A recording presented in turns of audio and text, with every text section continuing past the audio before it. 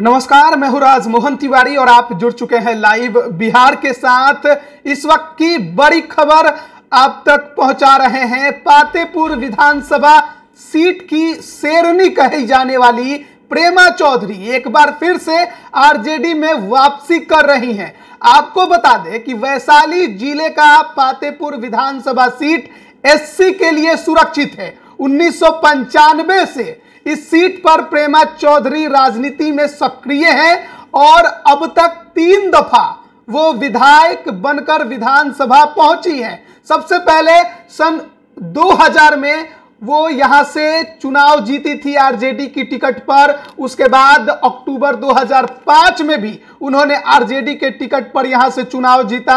उसके बाद 2015 में भी उन्होंने आरजेडी के टिकट पर ही इस पातेपुर विधानसभा सीट से चुनाव जीता था।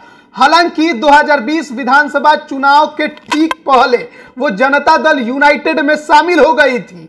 लेकिन 2020 विधानसभा के चुनाव में पातेपुर विधानसभा सीट बीजेपी के खाते में चली गई, उन्हें टिकट नहीं मिला और उसके बाद से वो लगातार पार्टी से किनारे चल रही थी। यहाँ तक कि उन्होंने कई दफ़ा अपनी नाराज़गी भी ज़ाहिर की थी और अब से छह महीने पहले उन्होंने जनता दल यूनाइटेड की सदस्यता से त्याग पत्र दे दिया था और अब यह खबर आ रही है कि एक बार फिर से प्रेमा चौधरी पातेपुर विधानसभा सीट की शेरनी आरजेडी में वापसी कर रही हैं।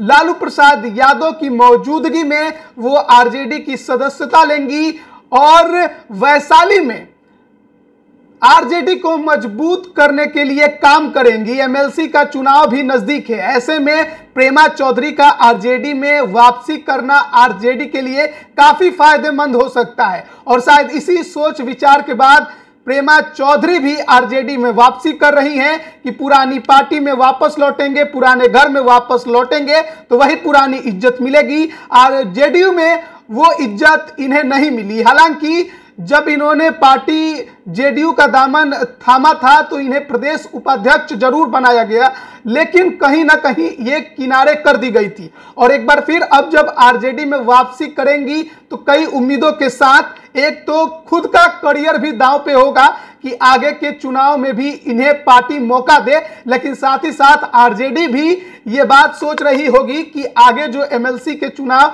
होने वाले हैं, वहाँ पर शायद प्रेमा चौधरी उनके लिए लाभदायक साबित हो। हालाँकि कितनी लाभदायक साबित होंगी, ये वक्त की बात है। अब बने रहिए लाइव बिहार के साथ। आप सभी का बहुत बहुत धन्यवाद। लाइव बिहार यूट्यूब पर सब्सक्राइब और फेसबुक पर लाइक ज़रूर करें।